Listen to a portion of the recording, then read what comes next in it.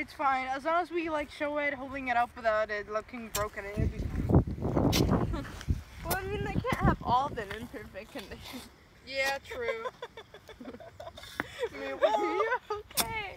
Oh my god. You know, things happen in erosion and it just kind of like, boop. I was Um, crying at the fact that it took her hours to do that. Guys, give me some water. I'm gonna like mold it together. Go get water. There's water right there. We're surrounded by water.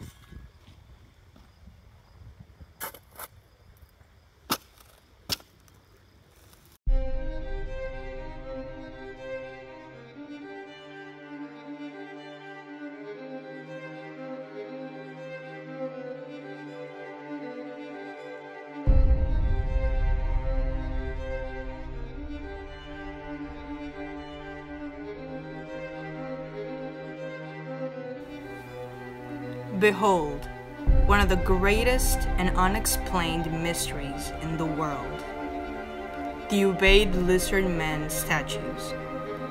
These statues hold countless mysteries and unanswered questions related to their past, their creators, and history around the world.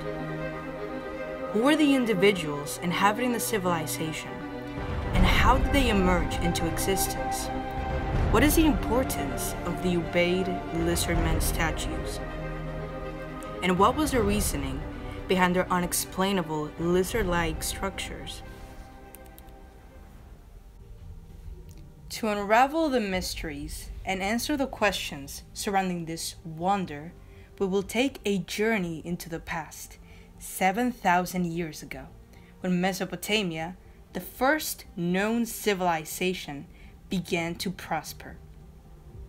Our journey begins in the years 5500 BC to 4000 BC of the Sumer period, where Mesopotamia's first civilization developed in the far south region of the Sumer, which is part of modern day Iraq and Kuwait.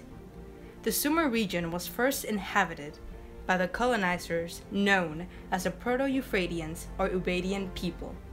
The Ubaidians were the first individuals who were documented to have developed their own civilization by taking advantages of their environment for agriculture, establishing trade networks, and even industries.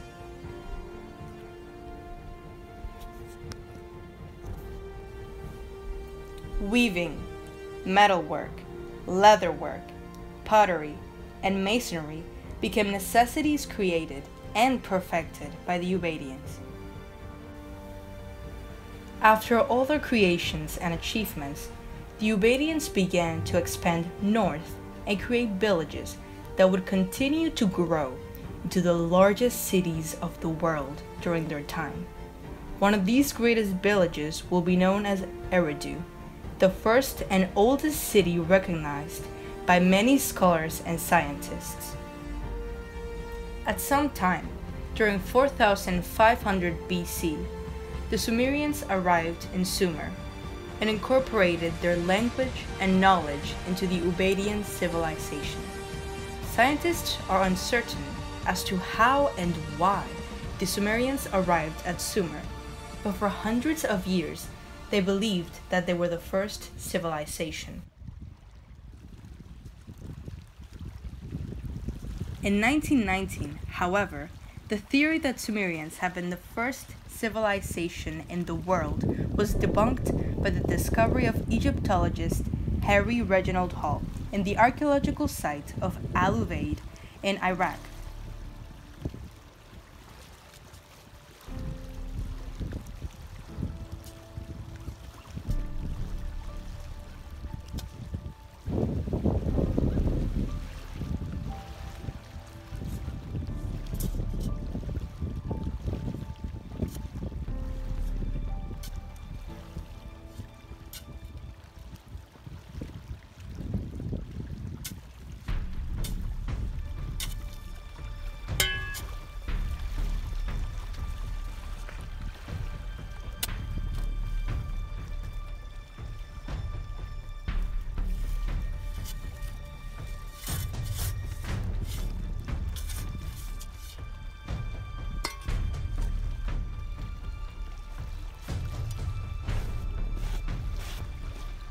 Hall's discovery would change the world and all known history.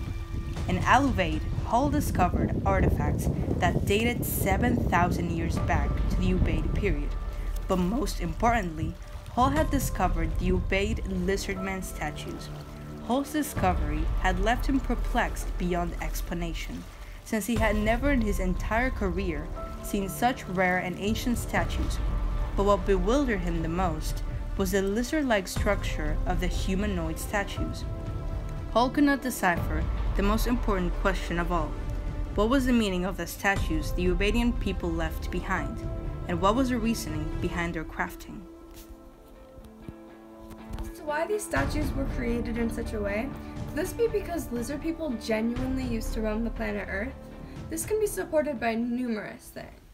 The statues discovered depict these reptilian people doing everyday things, which can undermine an existing theory that they solely existed in the form of royalty.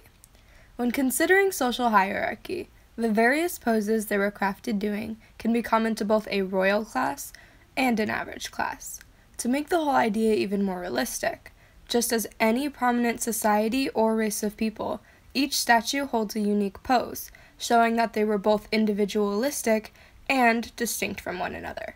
With this individuality combined with a potential class system, it seems as if historically the existence of lizard men is not as illogical as it may seem. Then again, what if these humanoid lizards are not just blasts from the past, a historical anomaly, but instead a presence that is still here today on the Earth, but let's say hidden in plain sight? A very popular theory amongst conspiracists is that these reptilians, their origins being the Ubaid lizard men, are actually still roaming the earth today. More specifically, that prominent historical and political figures were and are actually lizard people. This idea has become increasingly more popular as of recently, with figures such as Mike Pence, Bill and Hillary Clinton, Barack Obama, and of course, the Bushes, being accused of hiding their reptilian identities. Diving deeper into the unexplained, we are introduced to the reptilian elite. Essentially, an idea that all of the world's most important people are a part of a secret group of lizard people. Their goal? Well, this varies among believers. Some will tell you that they're here to steal Earth's gold, as it would stabilize their original planet's atmosphere. Others, however, will tell you that their sole purpose and reason for existence is to cause human suffering. Then this would be based off of the theory that they actually feed off of negative energy. Most believers, however, will opt for the more recognized option that the reptilian agenda is plotting for power, that their goal is complete and utter world domination. This goes hand in hand with the growing belief in the New World Order. Introduced by David Icke, a preacher and initiator of these conspiracies, the New World Order would essentially place control of the planet in the hands of the reptilian elite, in most cases, meaning political figures.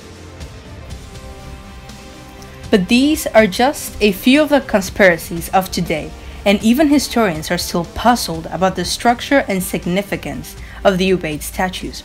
Just how were the statues constructed? And how did the Ubaidian people, an ancient human race, have the creativity and incentive to make them? Well, according to researchers, the Ubaid period was the milestone in which societal advancements were made. With the inclusion of different cultures and ideas, settlements thrived into larger towns, and older versions of agriculture and tools connected to modern day society were cultivated. This vast pool of ideas caused people to start thinking and acting differently. Similar to the Renaissance period, once people started settling, they began to focus on establishing their cultural identity. That was when pottery became a common occurrence. Now, typical Ubaidian pottery involved high fire buff objects painted in black with designs that got even simpler over time. The lack of obsession towards detail implies that the Ubaidian people favored efficiency and non complicated workings that made living life easier. other than the mud brick houses, constructed alleyways, and food processing equipment made from ceramics, bowls, basins, and jars were made as proof of their innovative evolution, and the lizard like statues they made could represent the history they wanted to leave behind. The relationship between the Ubaidian people and the statues are indicative of one thing. The Ubaidian statues are meant to show the domestic lifestyle and the social interactions of the Ubaidian people. Cultural clothing were drawn onto their figures, and all of the statues excavated were shown to be performing some sort of domestic task in relation to modern day living. For example, one of the statues is depicted to be breastfeeding her child, and the arrangement of hair on their heads is supposed to represent the levels in the social hierarchy. The statue with the largest hair is supposed to be considered the monarchy figure of their society, and the Ubaidian people were known to have inspired the structure of monarchy societies and settlements within the Sumerians, a nearby group of individuals who were recorded into existence several thousands of years later. But who can explain why the Ubaid people decided to construct a representation of themselves with deformed bodies and lizard like heads? Why lizards? Just what were they supposed to mean? Well, there are actually several theories to this. Let's analyze the statues in detail. Serpents and reptiles were oftentimes worshipped as a sign of creation and fertility and godly standing. The Ubaidian people could have been molding lizard-like statues to represent a sense of superiority because they had the power to create the first historically documented settlement. After all, they were in the middle of an innovative period, so agriculture-wise, technology-wise, Efficiency-wise, they were way ahead of the rest of the human race. They even created a social hierarchy whose very system included certain individuals having more authority over the lower ones. Maybe this mindset made them believe that their race would last for generations, and so they formed the lizard-like statues to show their desire to continue their race. Or they might not even have been human at all, Maybe the Ubaid people were reptiles walking the earth at the time and were actually beings to be worshipped. Or perhaps this odd structure is because of the Ubaid people having a history of actually shaping infants' heads, which could be an explanation of the deformed heads of the statues. Just like the Sumerians, the original existence and appearance of the Ubaidians cannot be fully explained by scientists and historians, which makes the statues wonders and mysteries of the world. Their existence was only proven by the excavation site in Al Ubaid, but the statues themselves hinted at their possible origins and have created further explanations about their existence. Some of these explanations include more conspiracies and theories about worship and religion. Another idea surrounding these statues is that they were simply objects of ritualistic and religious worship. As people were often buried with them, historians suggested that they could have just possibly been considered a rite of passage into the underworld and nothing else. In fact, the mystery surrounding these reptilians is shrouded in religious illusions, one of the most prominent examples of this being the biblical story of Adam and Eve. Those well versed with the contents of the Bible might remember that when tossed out of the Garden of Eden, Eve was tempted by a serpent. The serpent symbolizes reptilians, and some conspiracists believe that this story describes the schism, or the change in relations between reptilians and humans from good to bad. Icke, a popular conspiracist mentioned previously, preaches that it was believed that reptilians had once been widely accepted within the Sumerian culture due to the statues of Ubaid lizardmen that seemed to have religious value. But according to his beliefs, they went underground and hid from humans, and that is what the story of Adam and Eve represents. The actual identity of the Ubaid people, however, cannot be found by historians. This could potentially mean many things. Were the Ubaidian people actually the reptiles? Or did they casually live amongst them and accept this whole other race? And if so, did they view them as their equals or did they view them as royalty? Or maybe the statues were just that statues. The real question that should be asked is how could these reptilian people even be linked to Earth all of these thousands of years ago? How did they get here? More importantly, who are they? Some theorists will tell you that the statues were not based on reptilians, but on extraterrestrials, that they were just aliens who managed to master space travel. And with the universe being vast and ongoing, is it such a ridiculous thought that there is other, more advanced life that exists besides the human race? Besides that, any popular theory, such as one to do with lizard people taking over the world, can be linked to the infamous Illuminati, one such case being when the Draco, a group of lizard people, were linked to being in charge of this secret society.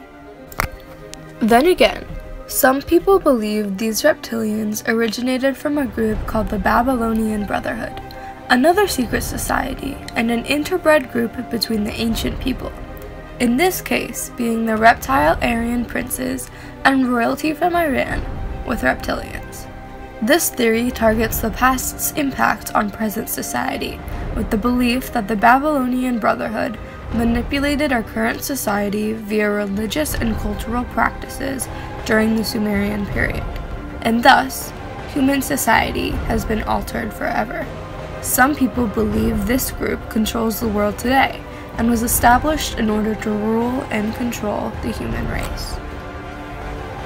Conspiracies of the 21st century were not the only controversial topics about the Ubaid lizardmen statues and the reptilian people, since in the 1900s, many people claimed to have experienced the presence of reptilians and so many newspapers came out with controversial titles and headlines that caught many people's attention. Much of the information and claims of lizards are not all accurate, but neither is all the information gathered by scientists and historians, which demonstrates that some mysteries of the world may not ever fully be answered by humans.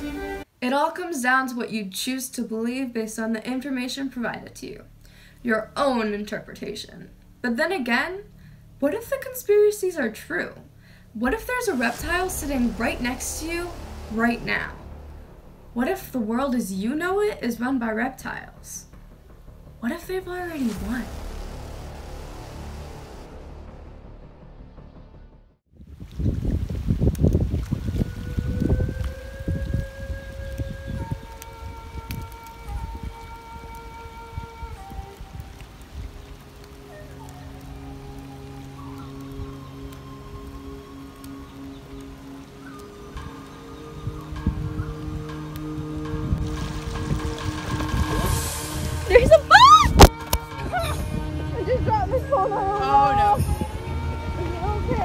Is okay. It's fine. It's fine.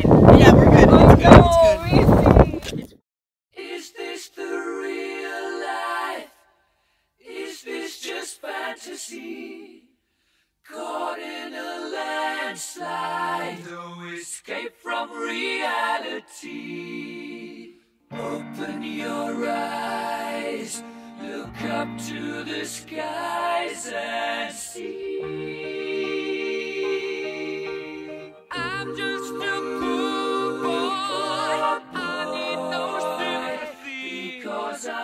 Easy come, easy go. Little high, little low. Any way the wind blows doesn't really